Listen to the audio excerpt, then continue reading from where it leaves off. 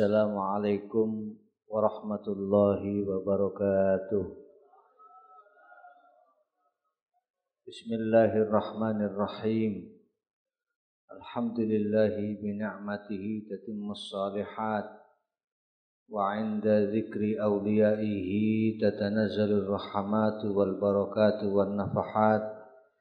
اللهم صل وسلم على سيدنا ونبينا ومولانا محمد خير السادات وأشرف البريات وعلى آله وأصحابه القادات. أما بعد الموقرين والمحترمين para habaib para masyayikh, para ulama khususnya guru kita bersama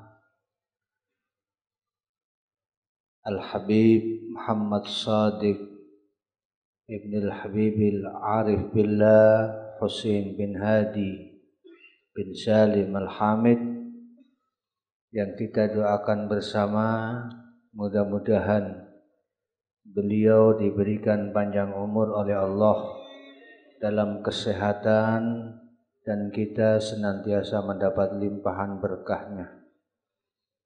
Juga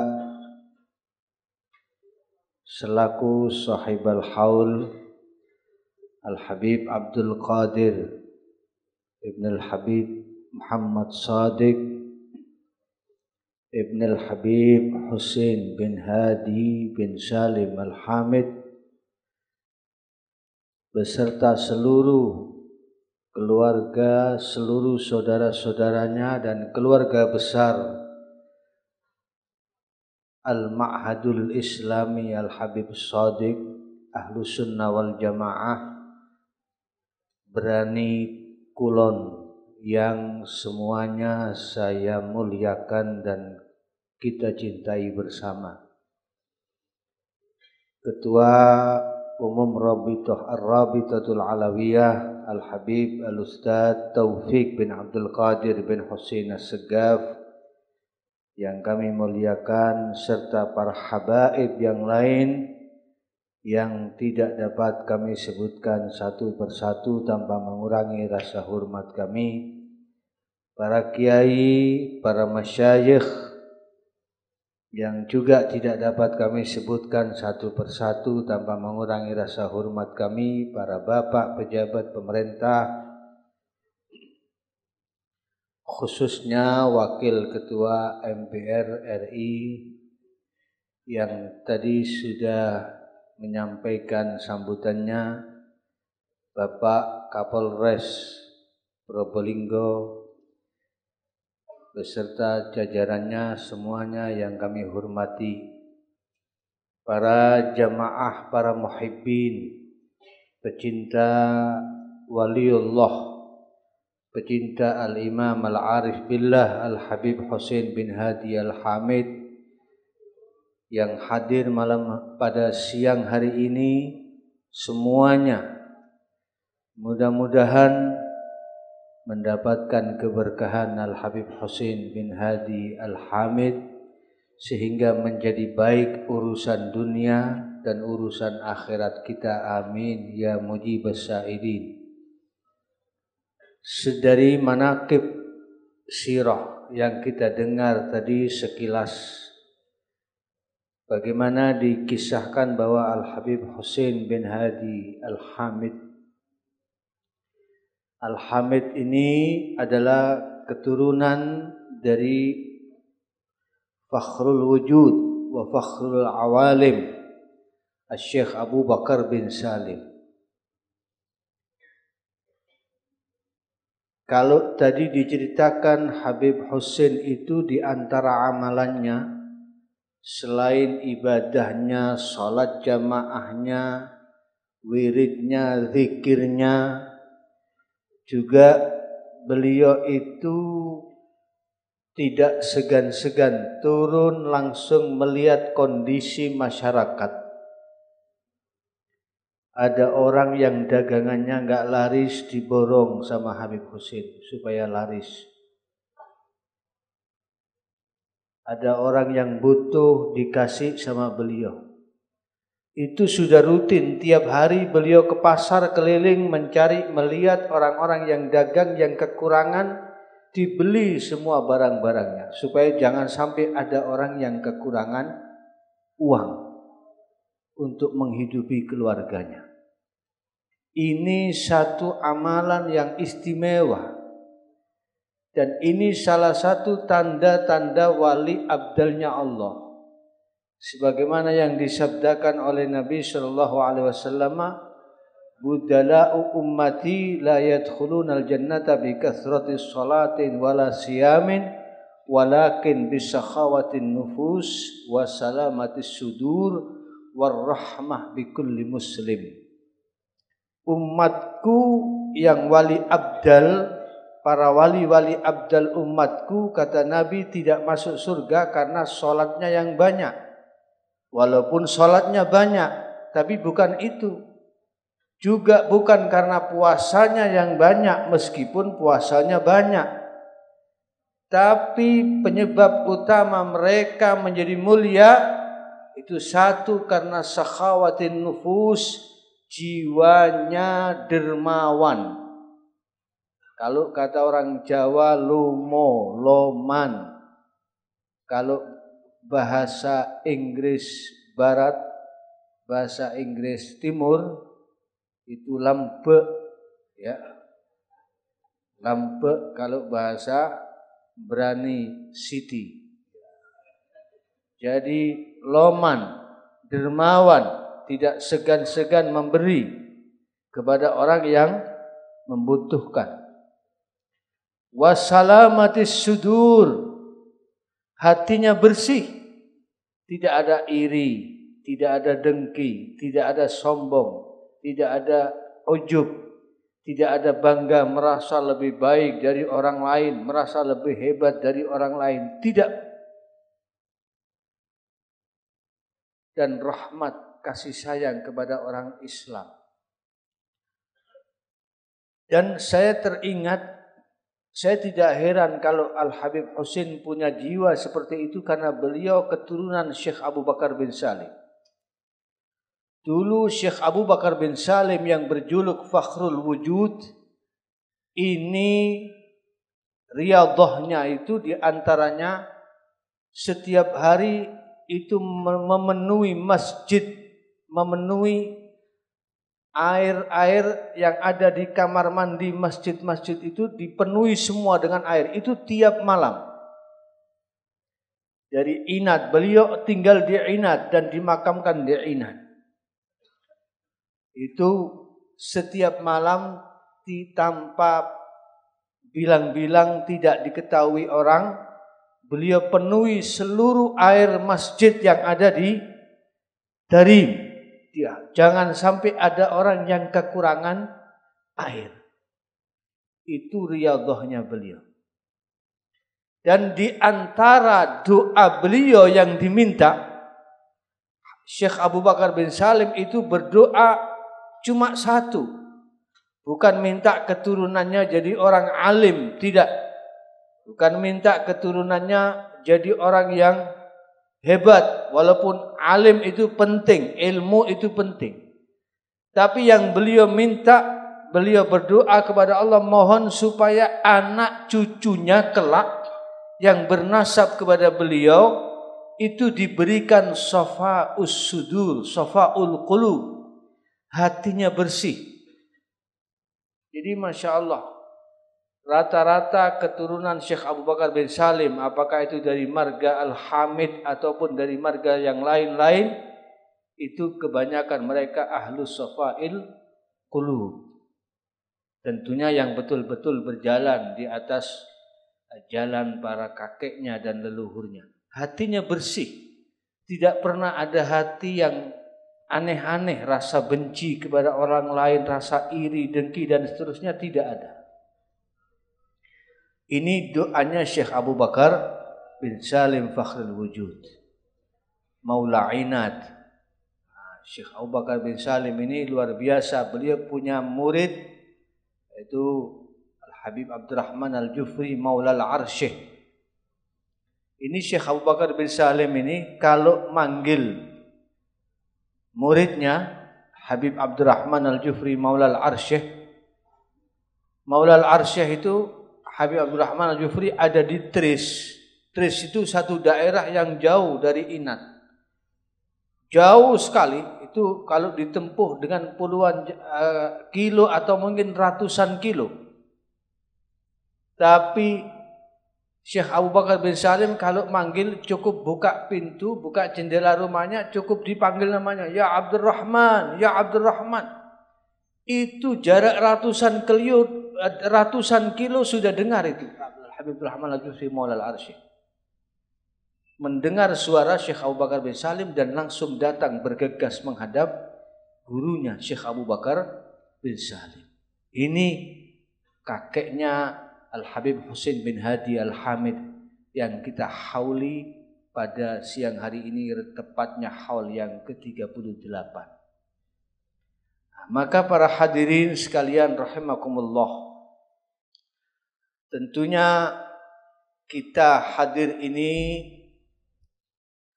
harus penuh keyakinan bahwa kita akan mendapatkan keberkahan Jangan khawatir itu walaupun yang di luar yang panas-panasan yang kena panas jangan khawatir insya Allah semuanya capeknya panasnya tidak akan sia-sia.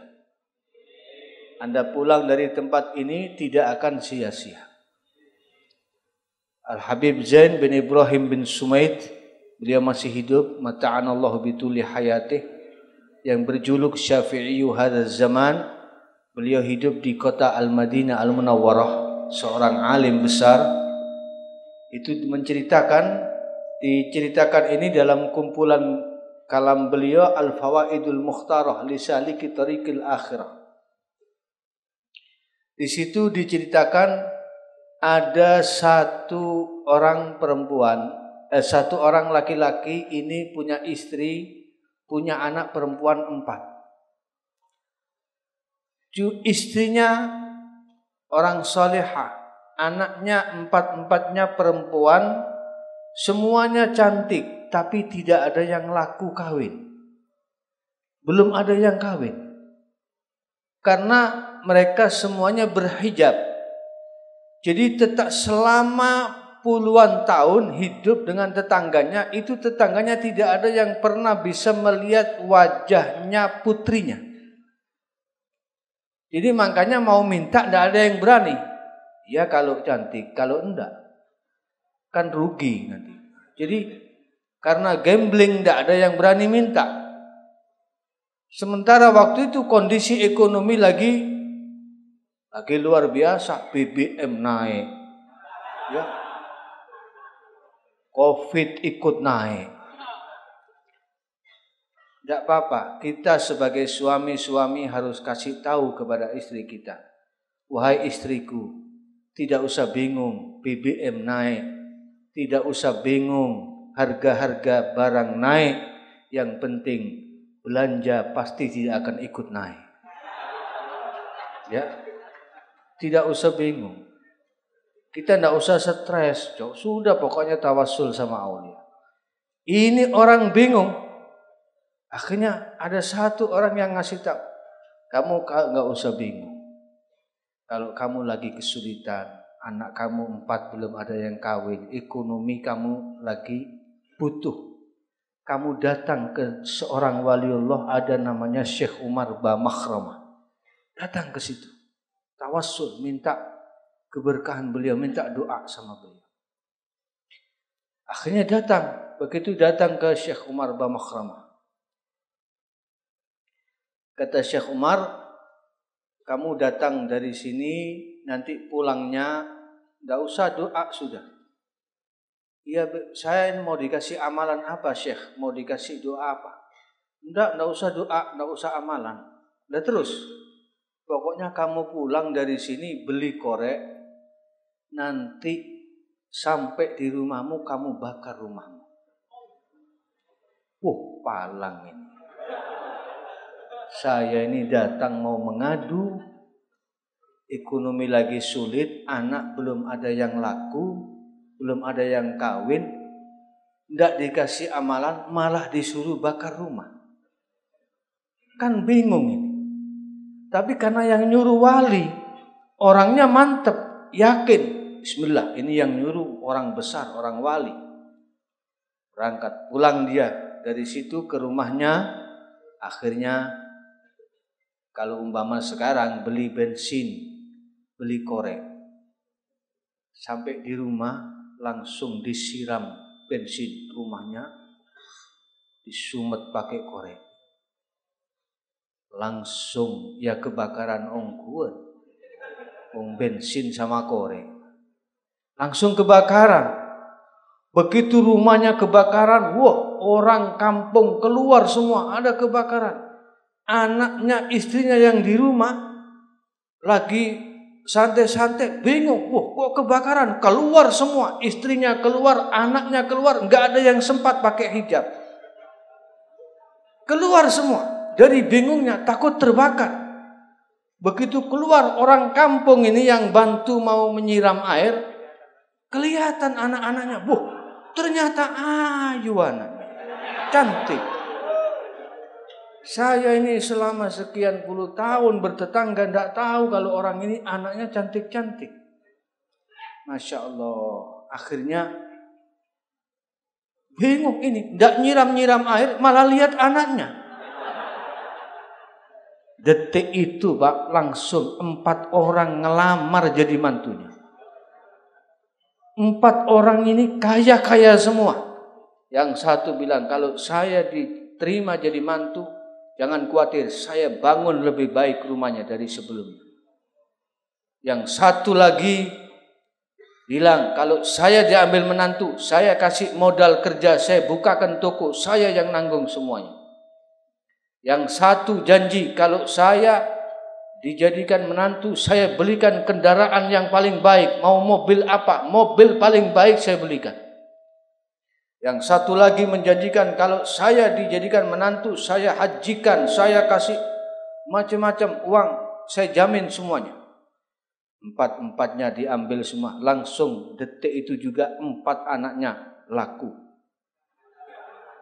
Dan mendadak jadi orang kaya. Ini barokahnya yakin mantep sama walinya Allah. Barangkali kalau mau dicoba silahkan. Pulang dari hall beli bensin sama korek. Silakan dibakar rumahnya masing-masing.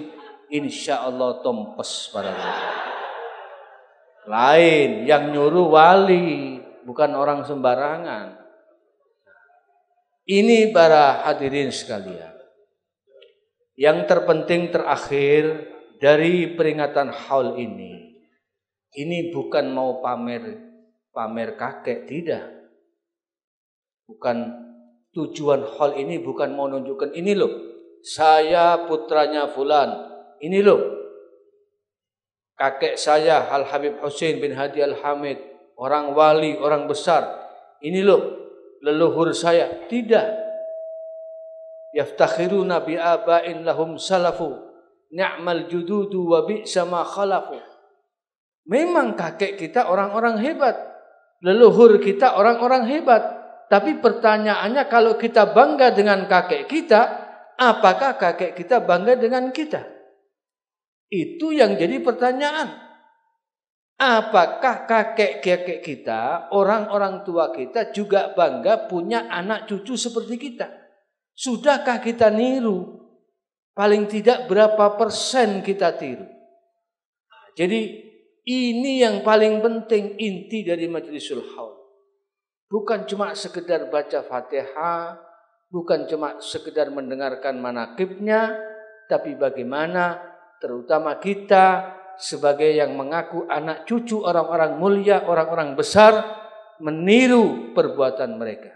Lisadatun min azzihim aqdamuhum fawqal jibah illam akun minhum fali fi hubbihim azzun wajah illam takunu mithlahum fatashabbahu inna tashabbuha birrijali falahu. Jadi sesungguhnya kalau kita tidak bisa seperti Habib Hussein minimal tashabbuh menyerupai sedikit-sedikit apa yang bisa kita tiru, kita tiru. karena meniru orang-orang yang baik pasti mendatangkan keberuntungan bagi kita semua. Para hadirin, mudah-mudahan kita bisa mendapatkan kebaikan, kemanfaatan dari majelis haul pada siang hari ini.